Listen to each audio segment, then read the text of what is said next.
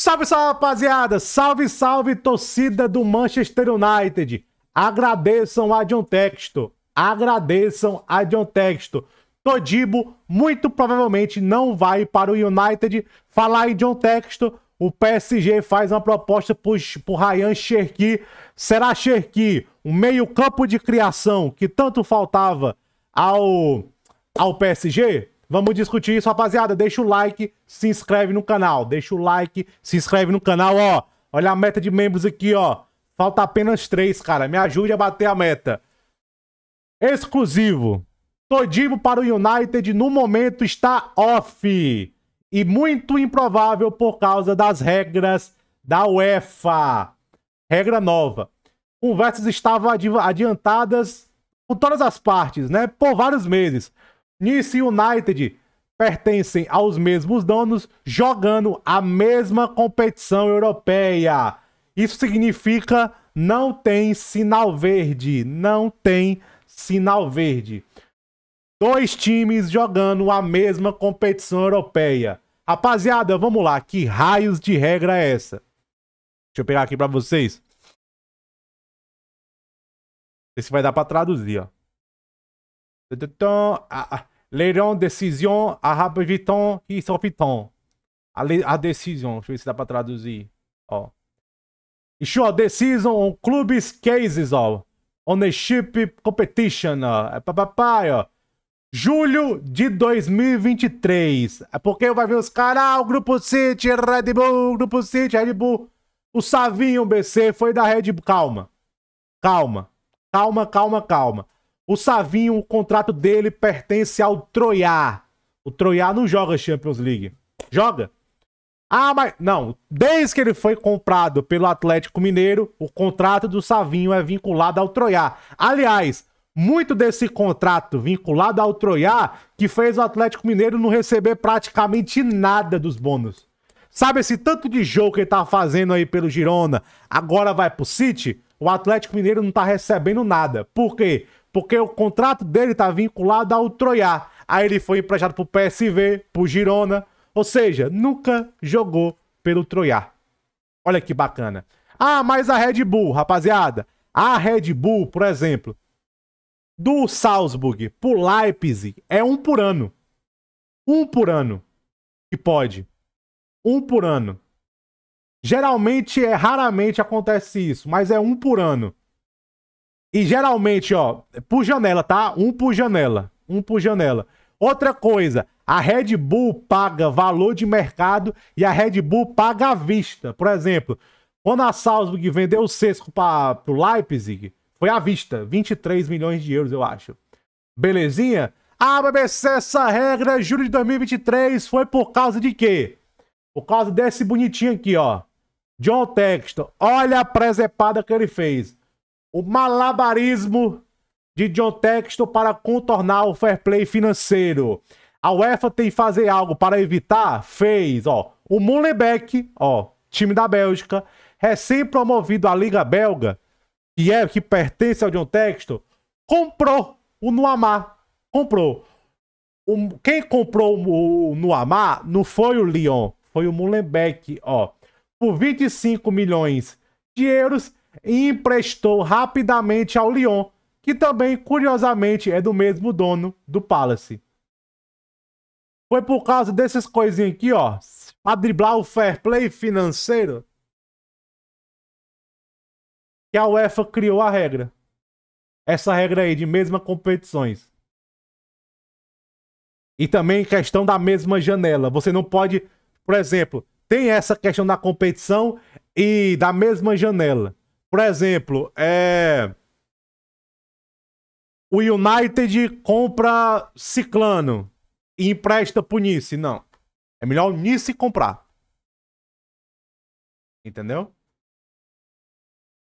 É basicamente isso. Pode fazer, mas depende muito de não competição.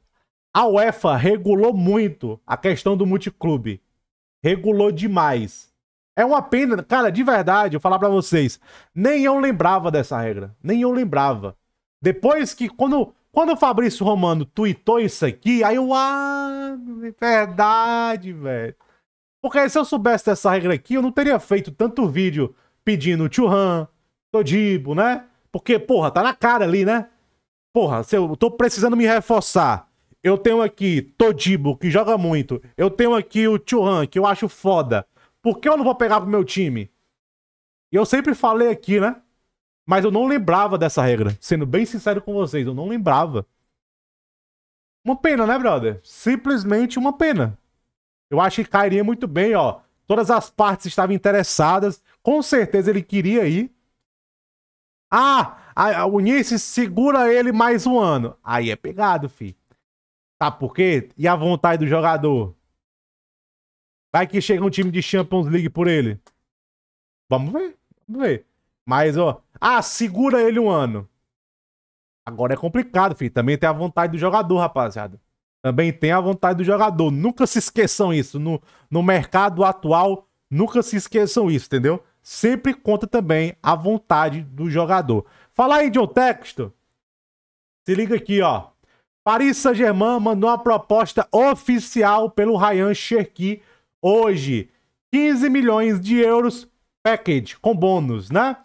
Lembrando, o Cherki apenas tem um ano de contrato e o Lyon tá tentando renovar, mas até agora não conseguiu, né?